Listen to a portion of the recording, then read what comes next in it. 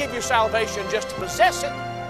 You and I are to become the Christians God saved us to become.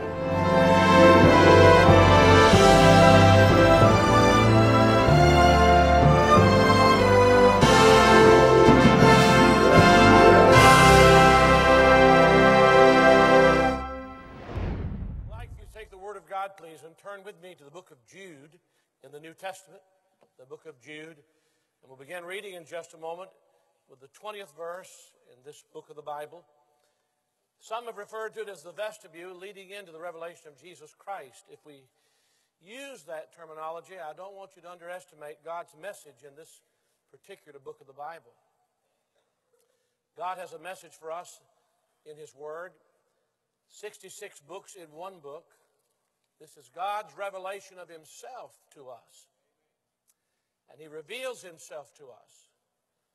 We know that God exists in conscience and in creation. We have this declaration that there is a God. But the Lord wants us to know Him. And to know Him, He gave us this written revelation of Himself. And it is complete only as we take the revelation from each of the 66 books of the Bible. So there is a portion of that in this particular book of Jude. You had a puzzle with 66 pieces in it, and you were missing one piece of the puzzle, the puzzle would be incomplete. And if we do not get what God reveals Himself to us as in each of these books of the Bible, we don't have the completed revelation that God wants us to have of Himself. So it is God's Word, it is God's revelation of Himself. If you look with me in Jude, beginning with verse 20. But ye, beloved, building up yourselves on your most holy faith, praying in the Holy Ghost, keep yourselves in the love of God, looking for the mercy of our Lord Jesus Christ unto eternal life. And of some have compassion, making a difference. And of some have compassion, making a difference. If you're in the habit of marking things in your Bible, I want you to mark this last expression in verse 22 making a difference. I've been giving a series of messages on 10 things we must do, 10 things we must do before we die. You don't have to do them. No one's going to make you do them, but we do have an appointment to die. And I've been giving 10 things, a message on each. Learn to love the Lord our God with all our heart. Number two, to love thy neighbors thyself. Number three, to add to your faith. Don't, don't be satisfied with saying, I'm a Christian. The Lord has saved us for a purpose. We need to become the Christians God has saved us to become. Number four, have a thoroughly Christian home. Number five, develop the gift of God in you. Number six, become a spiritual person.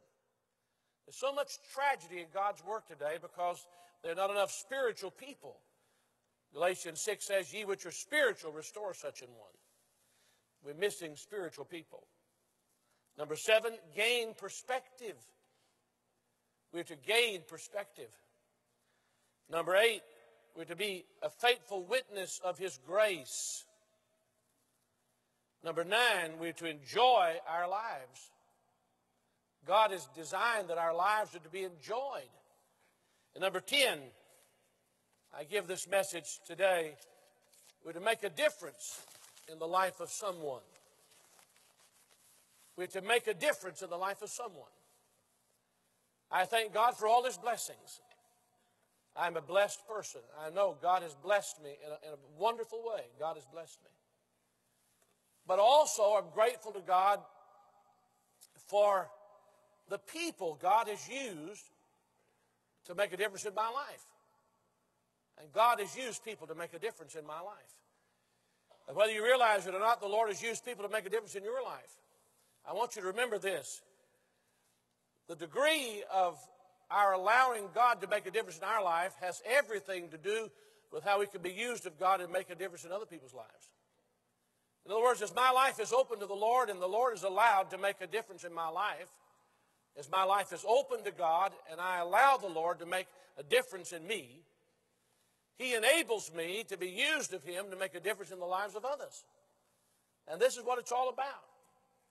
I could give you a list of names some pastors, uh, some lay people who were not pastors, some men, some women, even young people that were used of God to make a difference in my life.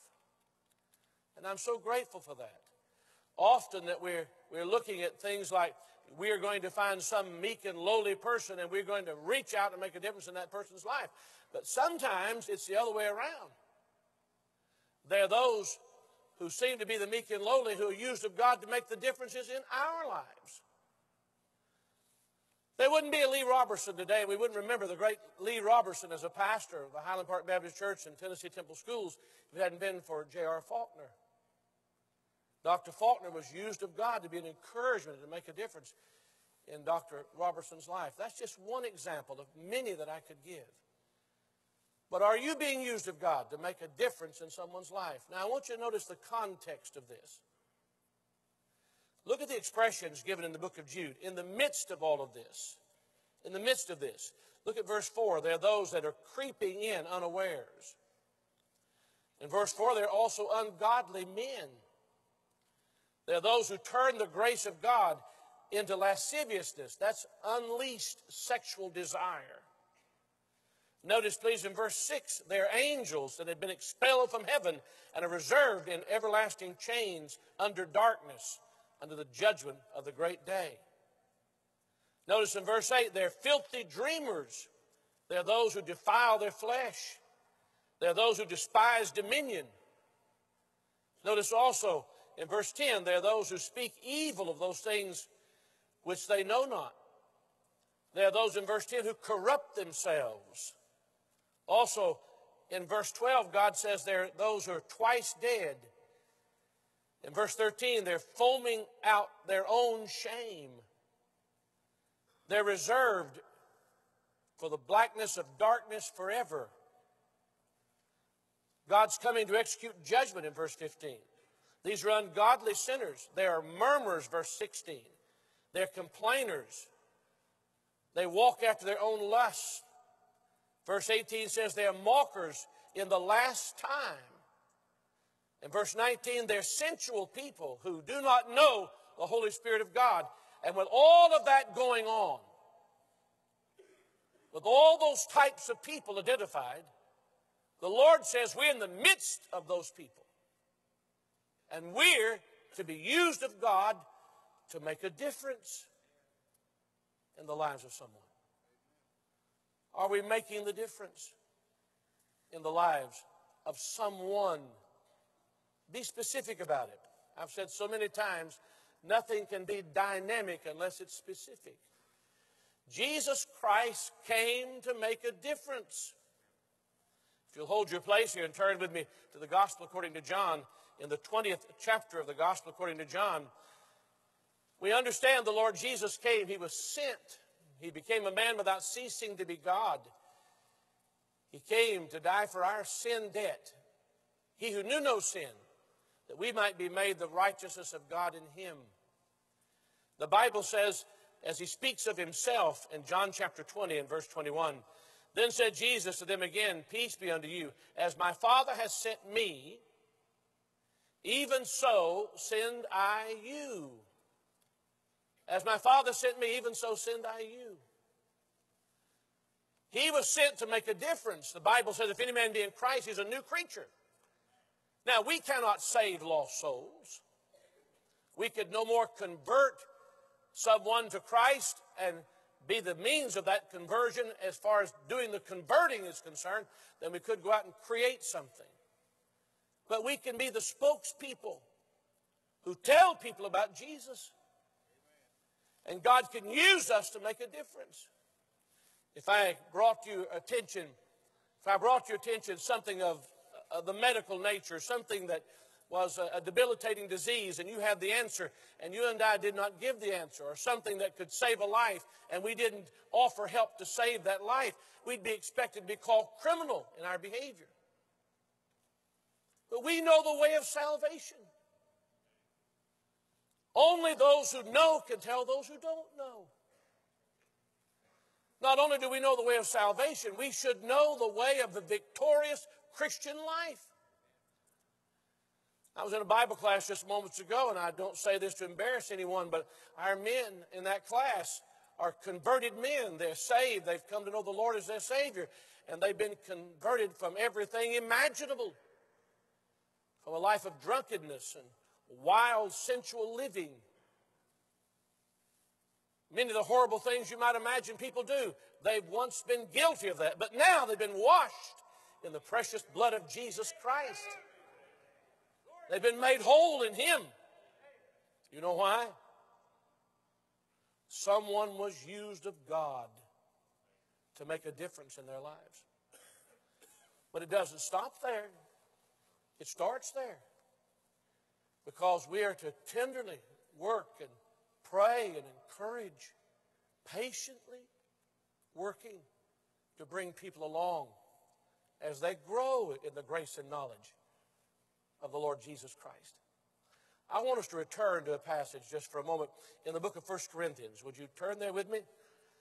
I called your attention to this earlier in this series of messages in 1 Corinthians chapter 13.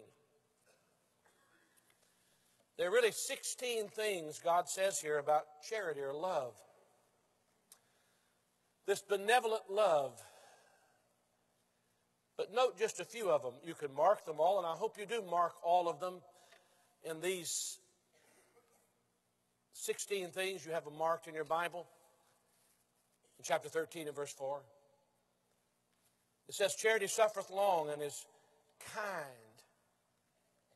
Notice, if we're going to make a difference in people's lives, we have to be bathed in, in kindness.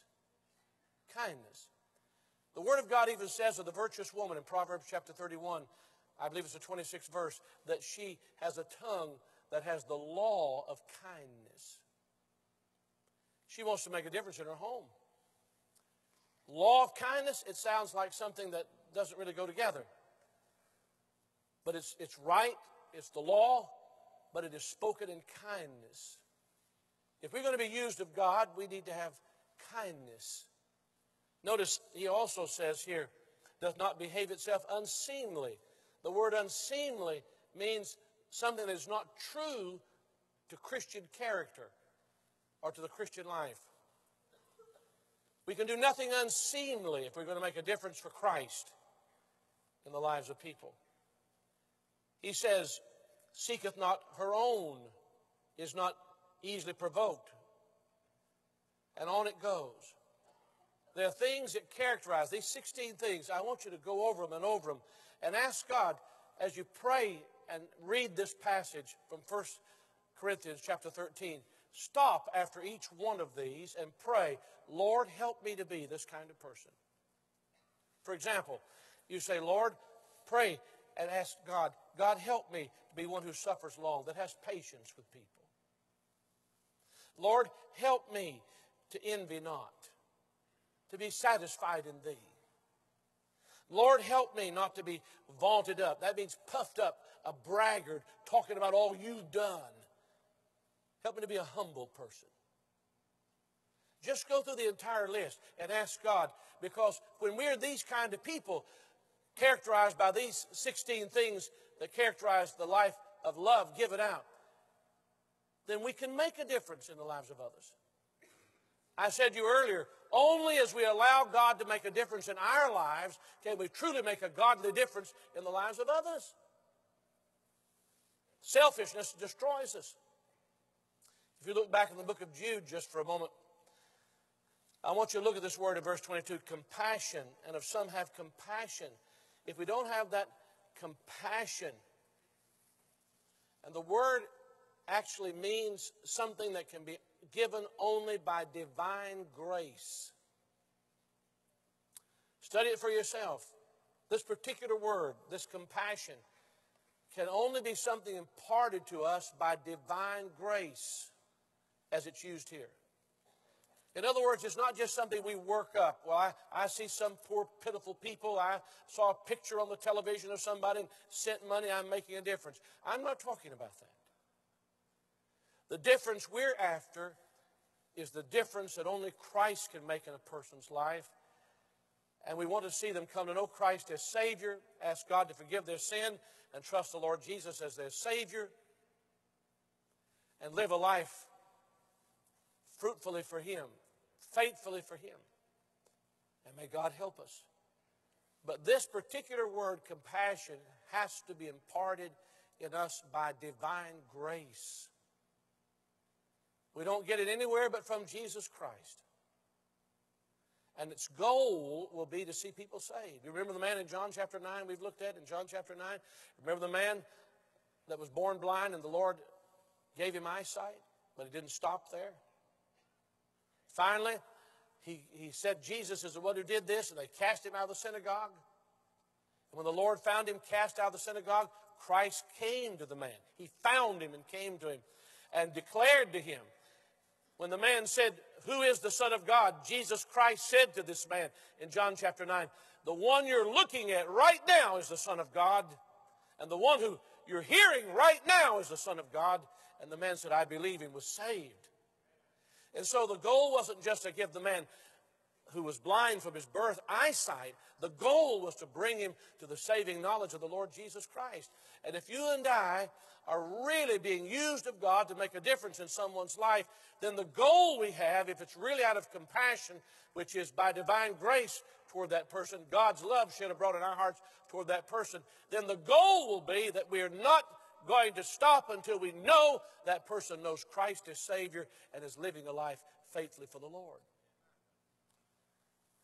You see, we grow as we allow God to use us to make a difference in the lives of others.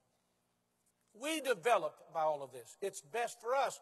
When the Lord designed it this way, He had all, not only the good of another person in mind, the best for another person in mind, but also what's best for us.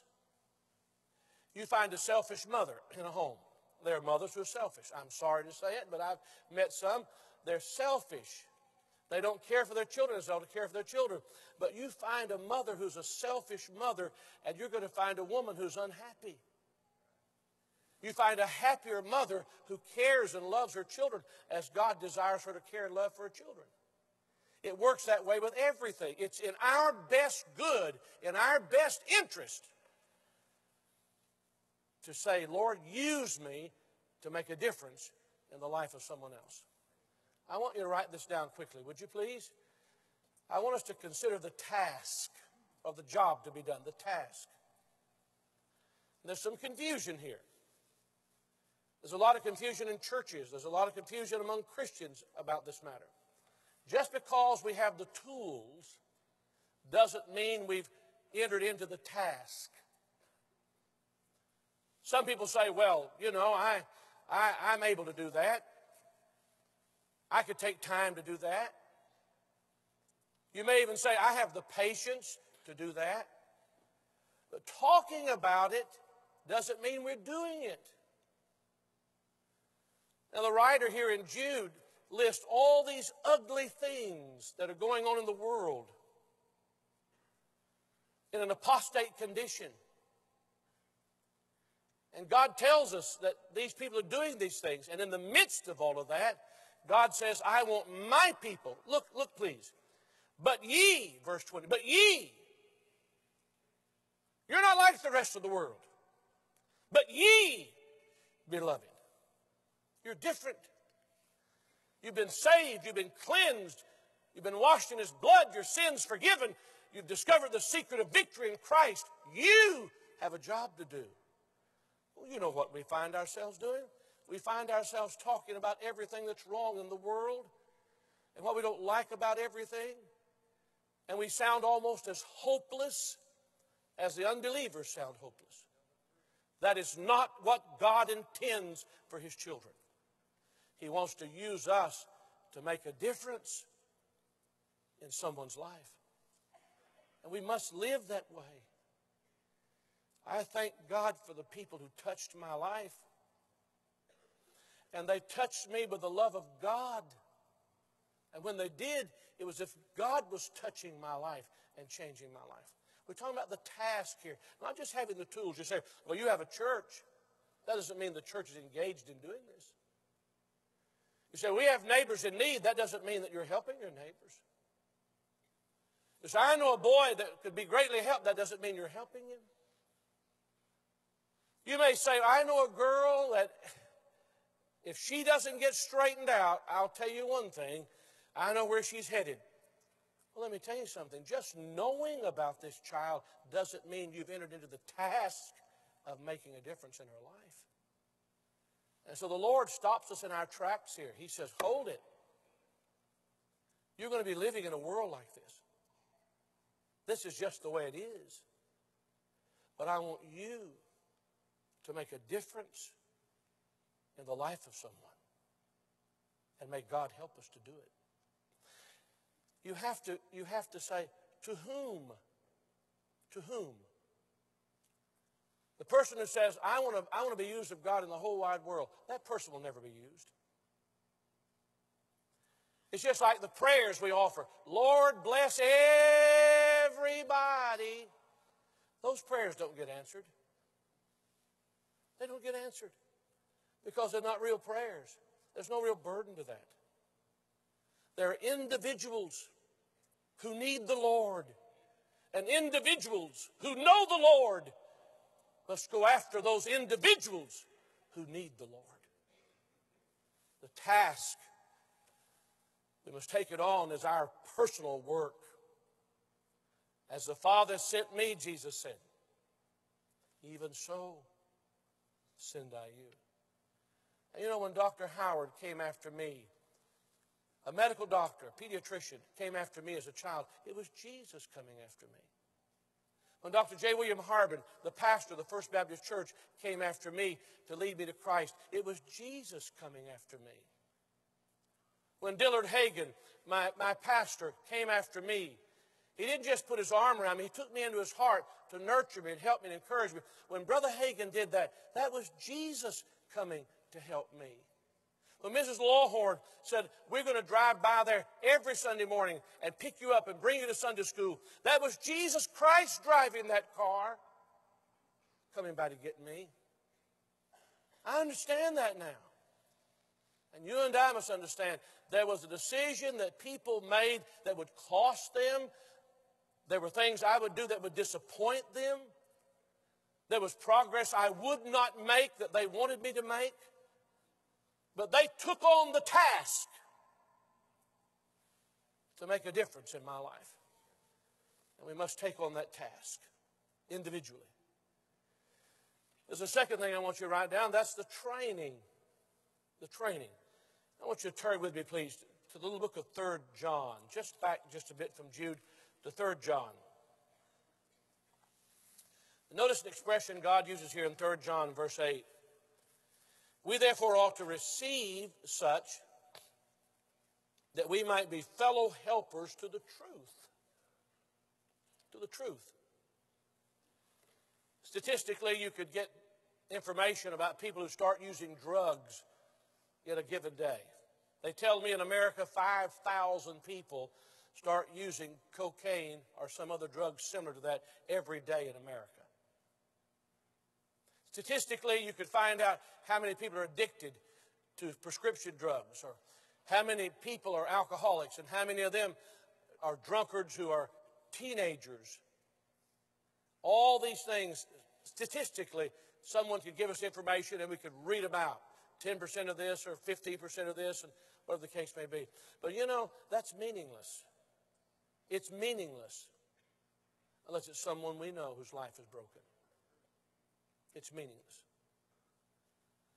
There could be a thousand people drowned from a shipwreck in the China Sea today. And we wouldn't even flinch if we heard the news. We wouldn't flinch. Because things like that have happened and we don't flinch. We don't even flinch. We don't bat an eye. We don't even raise a brow because we don't know them. There's nothing real to us unless it's personal to us. And so we must enter into this personally, one life touching another life for good and for God. May I tell you that you have to get far down the line to understand some of these truths that you wish you knew when you were much younger? For example, a parent finally realizes when their children are gone, they could have made no greater investment than the investment they made in their own children. But most of the time, a parent has to learn that after the kids are gone, especially if someone's done something he or she should not have done. But then we say, I wish I'd known that earlier. If I had my life to live over, I don't know what would be on the list of things I would change, but one thing I would change. I would definitely change. I'd be less enamored with big things and devote myself and encourage others to devote themselves more and more to individuals. Individuals. Individuals. Individuals. Training someone. That's different from teaching. It requires, it requires hands on. It requires a lot of love, a lot of encouragement. As a mother would teach her daughter how to cook, there's a lot of messes to be made in the kitchen that the mother would not have made if she were not trying to train a daughter. Or a worker trying to train someone on the job to do his or her work. And there's going to be mistakes made and sometimes money lost just trying to train someone. And there has to be a lot of patience and help. Well, if we've discovered truth, truth, that's what it's about, helping people to the truth. If we've discovered truth about God and God's Word, then we're obligated to God to bring other people along to teach them that same truth. Whether we ever realize it or not, we're obligated to God, and we're going to give an account to God. So that's one of our big issues dismissing our accountability. Those who know will answer to God in their generation for those who do not know. That's not even a question. It will be done. Those who know owe those who do not know the message of salvation. There's no way to escape it. There's just no way to escape it. And may God help us to understand this training takes time. Look, there are things that I wanted to accomplish 40 years ago, starting out preaching, that I'm still working on getting done. Specifically working on it, still hadn't come to pass. But it's worthwhile. Someone said to me the other day, Do you have pastors out? Yes, we have about 200 pastors we've trained who are out pastoring churches. About 200 of them. And many more coming on. We have people all over this world that have been trained right here in this place. They're on every continent. But if I had it to do over and I thought about all the trouble, all the problems you go through, all the turmoil one has, all the money that has to be raised, if you had to look at that up front and say, this is a cost, this is what's going to take, you'd never enter into it. But God, by His grace, gives us grace and strength to go through it, doesn't He? At the moment we have a need, God provides the need. If you look at your life and your family and your children, if you, if you knew everything imaginable that you're going to have to deal with, you'd throw up your hands and say, I can't do this. But God comes alongside us and enables us as we seek to train and bring others along in the wonderful things of the Lord. It has to be done this way. So there must be training and we ought to know and know specifically and understand. That's why I want to give myself to God and God's Word because I have an obligation to tell others about the Lord and His Word. Parents ought to dig into God's Word and let God's Word dig into them because they owe it to their children to teach them God's Word. Then there's a third word. I want you to write it down. Not only, not only the task must be entered in not be confused just with having the tools, but get on the job and the training, but the third thing, if we're going to really make a difference in someone's life, there must be trust. Trust. I'm going to say something that's very hard for me to say. It's very hard for me to say. But there are people that you know sometimes for 10 years or 20 years or 30 years or 40 years, and you try, you work at it, but you still are not able to trust them. You're not able to trust them. Wouldn't it be a wonderful place? And wouldn't our lives be so much better if everyone with whom we have a relationship was a trustworthy person? But listen, listen, please. Instead of turning it out that way and looking at everybody else, let's take just a moment and turn it in and say, by God's grace, I will be a trustworthy person. I'll be a person that can be trusted. My dad was in the wrong kind of business, as you well know if you've listened to me long. But thank God he was saved, became to know Christ as his Savior before he died, and I'll see him in heaven. And I'm so thankful for that. So thankful. But even my dad, in the awful business he was in, would get me in the living room of the house and he would say, Now, son, stand up straight. Look me in the eye. Shake my hand. A man's word is his bond. If you say it, you're going to do it. Be that kind of man. Be that kind of man. And don't be flippant about your talk because if you say you're going to do it, even if you're just casually speaking about something and say, I'll be there, somebody's believing you're going to be there and do that. And I remember those lessons from childhood. But it's God that enables us to be trustworthy people. Let me show you an example of this from the Bible. I want you to look at an unfamiliar book, the book of Philemon. Just another one of these books with one chapter. Paul is writing from Rome, and he writes this letter to Philemon. And perhaps you know there's a runaway slave by the name of Onesimus. He's run to Rome, he's met Paul, he's been converted, and Paul sends him back to do the right thing, make restitution. And by the way, there's some of that that needs to be done. You need to go back to people that you, you've done wrong to if they know it, and you need to say, I wasn't a Christian then, I wasn't living the Christian life then, but I want you to know God's changed my life now. But I want you to sense what Paul is saying here as he writes this letter about the care of Onesimus. Now, if you had been Philemon and you'd had a, a worker like Onesimus who stole from you and ran away, you might not want to see him again. Do you realize how many people are trying to deal with their past and can't deal with it? Do you realize how many people can't sleep because of their past? You realize how many people can't look another person in the face like they ought to because of their past?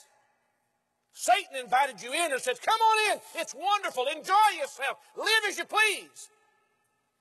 But it wasn't long until you were filled with guilt and doubt and shame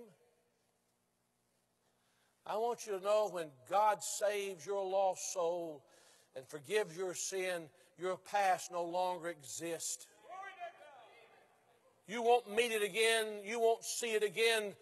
It was seen on Calvary when Jesus Christ bled and died for your sin and became sin for you and died as you. And praise His holy name. All that filth doesn't have to be there again for us to meet somewhere. And so Paul is writing here encouraging Philemon to receive Onesimus, this man Onesimus, and treating him right. And notice what he says. We'll begin with verse 4. I thank my God, making mention of thee always in my prayers, hearing of thy love and faith which thou hast toward the Lord Jesus and toward all saints. That the communication of thy faith may become effectual by the acknowledging of every good thing which is in you in Christ Jesus. For we have great joy and consolation in thy love, because the bowels of the saints are refreshed by thee, brother.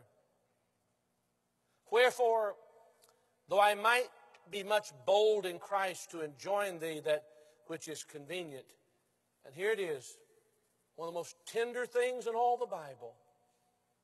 Paul says to this man, Paul writing from prison said this man, Yet, for love's sake, I rather beseech thee, being such an one as Paul the aged, and now also a prisoner of Jesus Christ. Paul says, There's some things I need you to do. I want you to do these things for this runaway slave who's been converted. And he said, I could, I could put a little pressure on you. Evidently, evidently Philemon is a Christian because Paul had led him to Christ. There's a great deal of influence here. But he says, Look, please, you and I love one another in the Lord. You see, it's not just between me and you. You and I love one another in the Lord. We share a mutual love for Jesus Christ and the change Christ has made. And Paul says, Philemon, for love's sake. We don't have to sign contracts. We don't have to threaten people. We don't have to say, if you don't do that, I will do this. No, no, no, no, no, no. There's a trust between us for love's sake. And you know, one of these days, one of these days, just as Jesus Christ literally, literally turned his work over to his disciples. There has to be trust in this. He actually put in the hands of his followers his work. He put it in their hands. Look, please, he put it in their hands. He sent the Holy Spirit, and the Spirit of God came to empower them to do it, but he trusted them with it. You and I will someday put our influence, our lives, all we've done, sooner than we think, in the hands of someone else to carry on. There's no doubt about that. We don't live forever here. Most of the time you think, well, it's our children. It's not always the children who carry on the work of God. Many more can. Do you know who's going to be there to trust and to leave it in their hands if there hasn't been a loving, Christ centered relationship built where we can trust you to do this? I think often that my labor will be in vain here to a great extent, my labor will be in vain here if I don't come alongside people and with the love of God take on the task to train others that I can trust to carry on. And surely, there are things precious to you about Jesus, about who He is and you'd like to train someone, take that task. Trust them. Both of you love the Lord now, helping them grow in the grace and knowledge of Jesus Christ. There's no doubt in my mind, the earlier we start doing this, the more pleased God is going to be with our work. Before I die, before you die, before you die, ask God to use you in the life of someone else in the biggest way possible. In the biggest way possible. Let's bow in prayer, may we? I want you to sit quietly just for a moment. We're going to pray together that God's word won't be stolen by the devil and by his demons, that the seed won't be snapped up so let us pray together that it'll be sealed in our hearts. All around, let us pray together.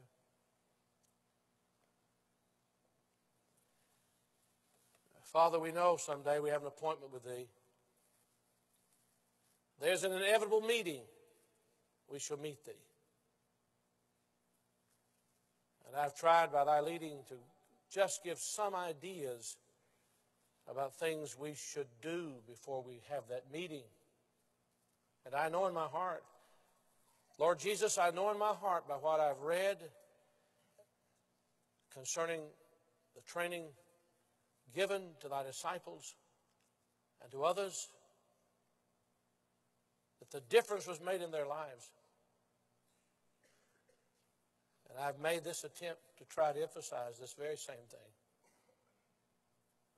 Dear God, help us to take on the task and not continue to live such selfish, self serving lives. Help us to understand more of the training that was given by Thee to those who followed Thee in prayer, understanding of Thy Word, witnessing, trusting Thee in crisis, living in the victory that we have in Thee. God, help us to know these things, experience these things, so we can help others with these things. And may we, may we have people alongside us and we alongside them that we can trust as they trust us and we both trust thee. That we can rejoice in when we finished our race. Or they finished theirs. We believe this to be the way thy work is to be done. Help us, Jesus. Our heads are bowed, our eyes are closed. Be patient with me, please. How many of you know someone now looking in your mind's eye towards someone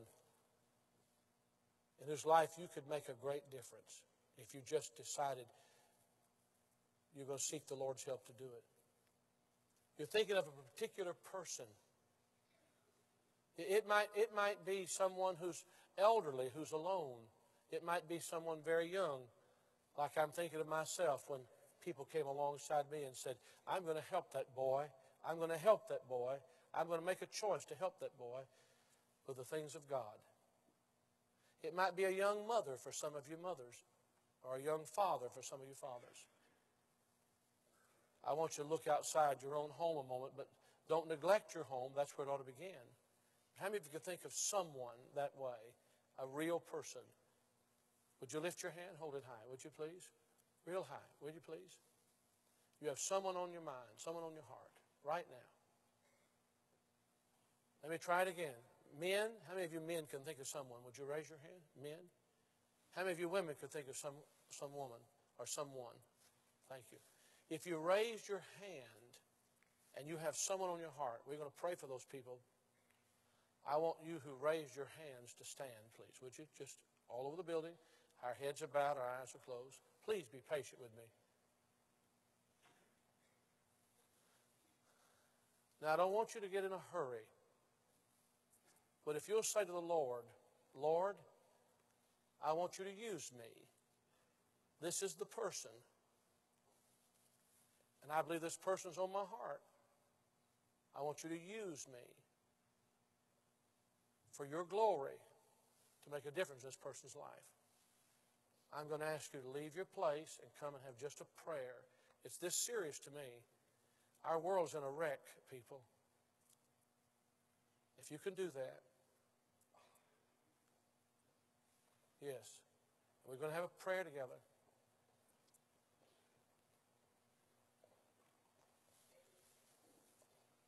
That means we're going to pray for them all the time. We're praying for them, praying for them. We're not going to try to teach them anything without praying for them. We're not going to, we're not going to try to instruct them without praying for them. God help us. And if some have compassion, making a difference. Come on around this way. Help us, please. Yes. Yes, we're going to pray. Come on around, please. We're going to pray. Now, that people here who do not know Jesus as their Savior, I want you to come. Let us take the Word of God and show you how to, how to be saved. There's some of you coming because you've been saved but never baptized. I want you to come and tell us what God's put in your heart. How many of you know the Lord has your attention and you're still seated, but there's a matter you need to settle with God? about salvation or professing Christ publicly, some matter in your life, forgiveness and cleansing, Would you lift your hand, hold it high? Some matter you need to settle if you're really going to get things right with God. Then you leave your place. We're here. We're waiting. We're work, working, praying with people. I know it's a little unusual. Do it this way. I know it is. I want us to sing, just as I am without one plea, but that thy blood was shed for me, and that thou bidst me come to thee. O Lamb of God, I come, I come. We're going to sing that verse, then we're going to have a prayer, and let these folks go in just a moment who are here praying. Right where you're seated, we're going to sing it. Just as I am without one plea, but that thy blood was shed for me, that thou bidst me come to thee. Thou bidst me come to thee.